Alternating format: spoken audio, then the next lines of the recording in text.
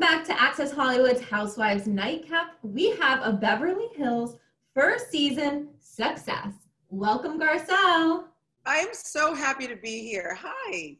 You are killing it. Like killing it on every like aspect of your life. So we're just so excited to have you on. But also our first question was like, we're surprised Garcelle is coming back to another season of The Real Housewives because you know last season ended not so great, and then you're just killing it on everything else. So we were a little surprised right. that you came back. Oh, that's really great. You know, a lot of people said that on social media, like, you know, you're still going back, but I enjoy it. I enjoy half of it. Um, some of it is really fun. The girls, you know, we can really have a great time. And the sticky situations are what I'm not fond of, but I know it's part of the show.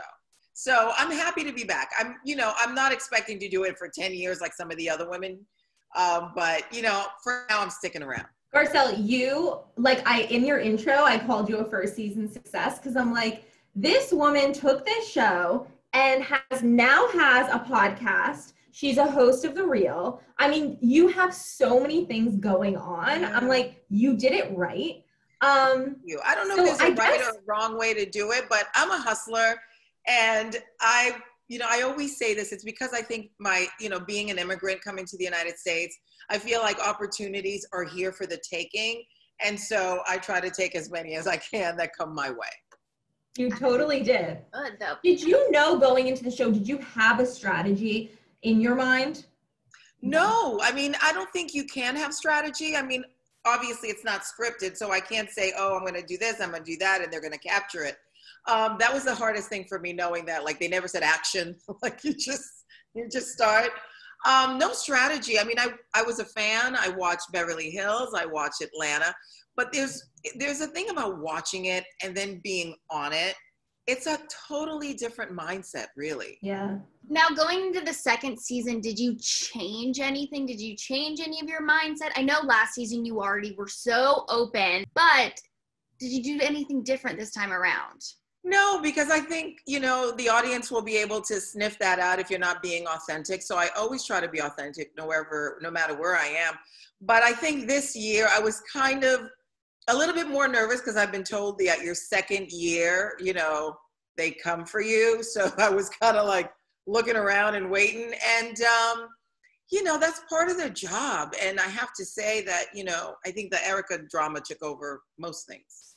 We know you. There yeah yeah it's a lot to unpack and we know that you don't really want to um, get into it but can you tell us that we will see this play out oh you will absolutely see it play out because we're learning as she's learning some of the stuff and you know you got to give her uh, a pat on the back because she really showed up you know i don't know if i would have had I had all that going on um, and being on a reality show, but she really showed up. I would have canceled my contract. I would have called my lawyer. Bravo, bravo, bravo. Listen, I would have moved back to Haiti. I would have been selling coconuts on the side of the road. I'm out. don't call, don't write. Yeah. Uh, Garcelle, I have to so say, fast. sorry, I have to say, I'm so glad because we tend to see first season housewives come back with a new nose, new cheeks, new 30 pound weight loss. Um, and, and I, I, wish I had done. Just, I wish I had done the weight loss because no, you know, you being your beautiful Garcelle. Yeah, no, I mean, I haven't even had Botox. I have to say, oh. I did get my um, my implants uh, taken out because I've had them on too long. So this is the first time I'm talking about it. So that's the only thing I did because they were really not healthy for my body do you ever feel like you have to keep up with the other women? Because I mean, we talk to so many housewives, and they're always like, the Beverly Hills. I don't know how I would keep up with them if I was on in that city. Yeah, I mean, I think we all bring such different things that if I was trying to be Dorit and we're in designer everywhere, that really wouldn't seem authentically me. Right. If I was trying to, oh, I'm not bringing up dancing on social media, but it, if I were to do that, that wouldn't seem authentically me. So, um, so yeah, no, nothing changed except for a little, you know, COVID weight. Which we all have. Let's be honest. No all kidding. No kidding. Okay, so besides the Erika stuff, which I'm glad to know that she is going to bring it, she's yeah. going to be honest about it because we do know Erika, and in the past, sometimes you know she's like a a wall. She can be guarded. She yeah, can be very for sure. for sure. For sure. I mean, I think we all have a little bit of that. You know what I mean? We keep our guard up, and I think that's for me the hardest part for me for the show because I'm such an open, fun-loving, let's have a good time, and then I forget that I can't let my guard down completely. Mm. And that's the unfortunate part. So besides the Erika stuff, what else? What are we gonna see on this season? Kathy Hilton is hilarious. You're gonna love Kathy Hilton. Um, Sutton and I, our friendship grew over time, which is really great. You're gonna see Crystal um, Minkoff, and uh, she's the new addition. And you know, we all really had some really fun, but also some tough conversations. You know, especially Kyle and I and uh, conversations that the world's having, but you can't ignore it because it's all part of our lives. You and Kyle have never really seen eye to eye. Um, we noticed you unfollowed her on Instagram. So can we assume you're not in a good place right now?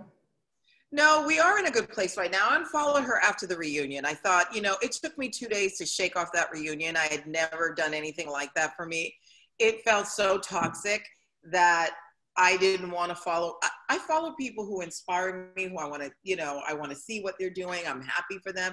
And at that time, I did not want to see Kyle on my timeline, to be completely honest, and Rinna. Oh. So, yeah, where really. is your relationship with Lisa this time around? We're still trying to figure it out. We're really trying to figure it out. It was really hard to see um, her mistreatment of Denise you know, for a friend that she's had so long. And, uh, and so we're trying to figure it out as we go along, but slowly. Have you talked to Denise? I mean, I have. Yeah. We talk all the time. We just got together and and had dinner, and I keep saying that she looks younger and happier since she left the show. Yeah. The show took a beating on. It took a beating on her, and it was really tough. And you know, the world has changed. And every anytime you see um, a woman being hurt, it's tough to watch. It, it, it's tough. It's like the world is changing. I think we need to change a little bit too. Yeah. It was yeah, we did. Emily and I were just talking about that earlier. It was just too much. We think it was overplayed. It was like too Agreed. much. Like if her like I honestly, it's 2020. I don't care who's lesbian. I don't care who goes down on who. I really, I don't care unless it affects. Right. You know what I mean? Right, it's overplayed. Yeah, yeah. I think that's was one of the things. I feel like last season we lost a lot of the fun because it became yes. about that. And I think what's great about this season, and I hope, is that they bring because we did have fun. So I hope they bring a lot more fun to it, so it's balanced. Otherwise, it's tough to watch so much um, social upheaval. I mean, on top of the virus, obviously, you're the only African American woman on the show. Can you tell us what it was like for you just having these conversations with your cast members? A lot of them were very vocal on social media. And I just wonder from your perspective, did you feel supported? Um, did I feel supported? I think the plight was supported. You know what I mean? I think everybody yes. got what we were trying to do with BLM and protesting and George Floyd. I think everybody got it. Um, yeah, I mean, sometimes what's interesting is the, is the conversations we have that some people weren't aware what they said was not okay. And you'll see that play out. But we definitely have conversations about race, about, you know, me walking to a room versus them walking to a room. So you'll That's see, great. you'll see a lot of that. I'm in, hopeful in, for that. And you know, in time, not all at one time. Do you know what I mean? Yeah. Because the show's not about that, but it's hard to not talk about that. Well, like we said, we watch, we love to watch to see you guys with your beautiful clothes and your beautiful diamonds and all these trips and everything. But at the same time, I'm really hopeful because I think the Bravo audience could learn a lot. Yeah, exactly. I think those conversations are important, but I also think that if we weren't talking about them, then we're not shooting a reality show right? Because right. it's happening in real time. So we have to, especially having minorities on the show, that's going to come up. Okay, so I love the real. It's like my guilty pleasure. Uh-huh. And I just I YouTube it and I, I can't watch live ever because I'm always working, but at night I go on. How are you enjoying being a co-host with these ladies? I love it more than life itself. Oh I, that's what I've always wanted to do when I just, you know, acting started happening and I had great momentum and so I kept doing it. I remember years past I would say to my team, you know, I really want to be a host and they're like, "Why? You're an actress and you're doing well." But it's really what I love. I mean, hot topics, what's happening yeah. in the news is I stay on it anyway. So I would have done it. I would have known those things anyway. But working with Loni and Adrienne and Jeannie Mai Jenkins, I should say now that she's married. Yes, she's got um, the ring. It's really great because we all have different perspectives, even though we're all, you know, women of color on the panel, but it's really nice to get different perspectives and respectfully disagree and just have conversations that uh, our community wants to wants us to talk about. It's so good. And, and your podcast. Your podcast. Oh God, well, the podcast. it's like sometimes I wake up in a cold sweat going, I cannot believe I talk about the things I talk about. Thank God my mother has passed. It would have killed her. Okay, Emily, I think it's finally time for us to play a little game because we want to go to bed with Garcelle, but make it Housewives Nightcap Edition, okay? Garcelle, are you ready? We're going to give you some questions and you just answer them very honestly. Question number one Where is the craziest place you've had sex? I like said um, sex lightly, but I should. I know. On a beach. On a beach. On a beach. On a beach. There were sand in places I didn't even know how to get out. Who is the most, I feel like I know this, but who is the most famous celebrity you've gone out with? Uh, what do you mean gone out? Like had dinner, broke bread? well, I would say, um, well, I guess it's between Will Smith and Sean Penn. I was gonna say both either of them for sure. Yeah, yeah.